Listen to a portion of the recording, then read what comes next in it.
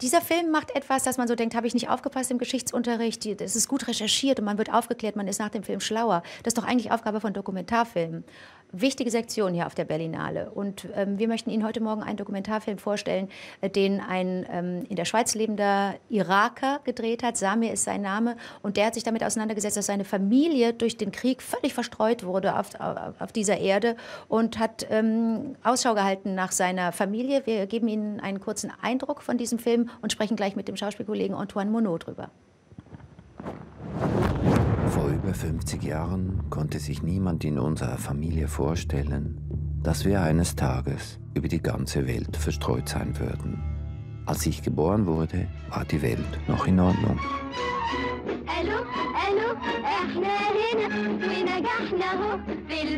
Kurz darauf brach die Revolution aus. Es war eine aufregende Zeit.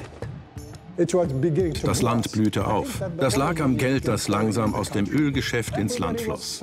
Doch der Aufbruch endete in einer Diktatur und vielen Kriegen. Über vier Millionen Irakis leben heute über die ganze Welt verstreut.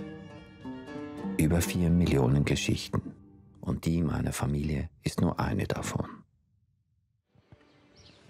Guten Morgen, Antoine Monod nochmal. Hallo, guten Morgen. Anke. Du warst für uns im Kino. Äh, genau. Was, äh, was kannst du zu dem Film sagen? Na, ich habe mir angeschaut, Irak-Odyssee von Samir. Samir ist ein, ein ganz toller, großer äh, Schweizer Regisseur. Und der hat einen Film gemacht, Irak-Odyssee, der ähm, sehr interessant. Samir ist selber, ist Schweizer, ist in der Schweiz dann auch aufgewachsen, ist da im, im Kindesalter hingekommen.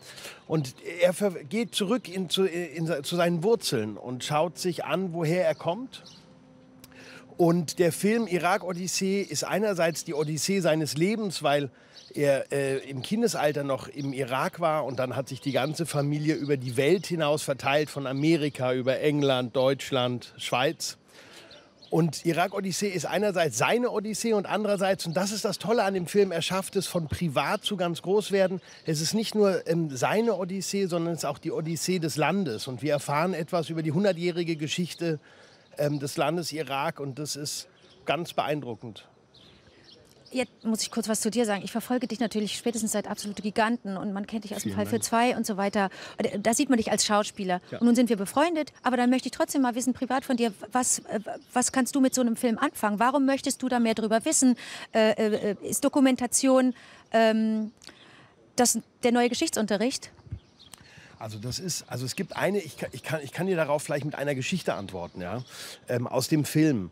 Ähm, er besucht einen Onkel, ähm, ich glaube in England, und der erzählt, wie er Fernsehen geschaut hat früher.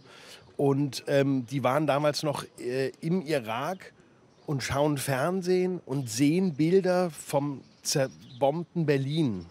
Und man sieht das Brandenburger Tor und die schauen und sind fassungslos. Ich glaube, die Briten waren auch viel im Irak, also die hatten auch eine Verbindung zu Europa eine große inhaltliche und sehen plötzlich Bilder dieses zerbombten, Ira äh, dieses zerbombten Deutschlands. Ja? Und da ist für mich so aufgegangen, dass ich mir dachte, ja, das kennen wir doch. Also wir haben zweimal zugeschaut, wie, wie, wie, wie das im Irak war. Und, und für mich, ich habe nie daran gedacht, dass die zugeschaut haben, wie das bei uns passiert ist. Ja? Und da ist plötzlich für mich auch so eine Welt aufgegangen und so, so, ein Knopf aufgegangen, dass ich dachte, ja, es ist Wahnsinn, wie nah wir uns eigentlich alle sind, ohne dass wir es denken und dass ein Film sowas schafft. Deswegen lohnt es sich, den anzuschauen. Danke. Und ich füge noch hinzu, man kriegt ein neues Bild von Bagdad und, äh, Bagdad und denkt, was ist denn das für eine lässige Stadt? Die hat eine Lässigkeit. Cool, habe ich noch nie so gesehen. Ja, In den Nachrichten habe ich das nie so empfangen.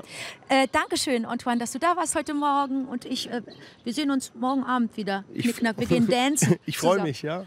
So, ja, liebe Menschen, äh, ich freue mich so, dass Sie zugeschaut haben die ganze Woche lang und sich ein bisschen haben mitreißen lassen, weil wir so im, im Fieber sind der Berlinale. Das macht so Spaß, ins Kino zu gehen, immer wieder in eine neue Welt zu gehen und die Welt mit neuen Augen anzugucken. Und ich hoffe, wir konnten Sie ein bisschen heiß machen auf den ein oder anderen Film. Gehen Sie ins Kino, es lohnt sich. Man ist ein anderer Mensch nach jedem Film. Und selbst wenn man sagt, der war nichts für mich.